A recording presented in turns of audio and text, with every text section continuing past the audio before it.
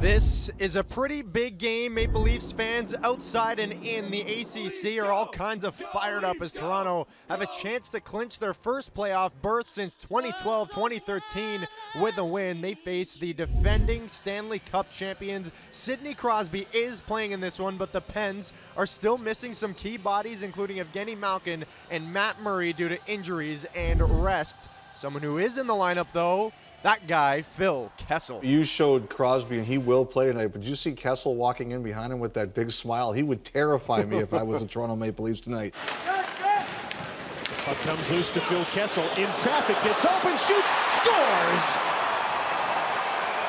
And the Pittsburgh Penguins on Phil Kessel's goal have a one to nothing lead. Of course, Kessel scores his first goal in six games against Toronto since being traded. It's one nothing Pens, but Toronto answers just 29 seconds later. James Van Riemsdyk, one-handed tip to himself, then rips it top corner past Marc-Andre Fleury just like that. We're all knotted up at one after 20 minutes of play until it all unravels for the Leafs in the second. Scary moment here. Tom Sestito cuts in front. He collides hard with the head of Frederik Andersen. He was down in pain and forced to leave. Curtis McElhinney takes over while Sestito gets two for goalie interference, and the Leafs take advantage on the power play. William Nylander goes across for Tyler Bozak, who buries the one-timer, his first goal in 10 games.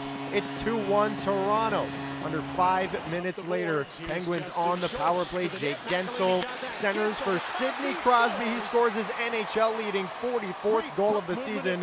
It's been quite a year for Sid, and we're tied at two after 40 minutes to the third we go. Crosby gets it across to Guentzel. A wide open cage, but oh, how you miss from there?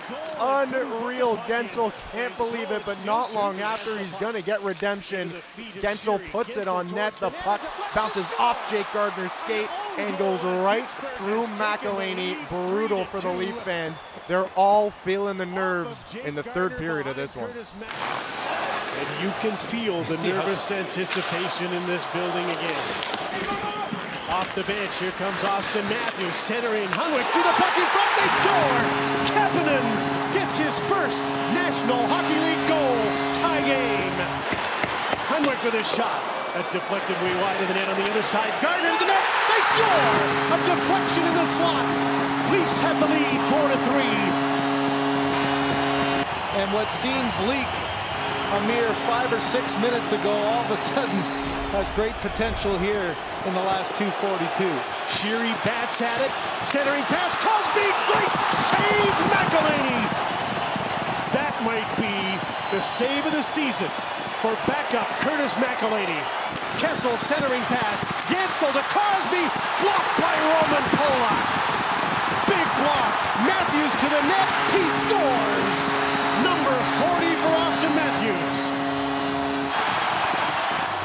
It's been four years, but it seems like 40, doesn't it?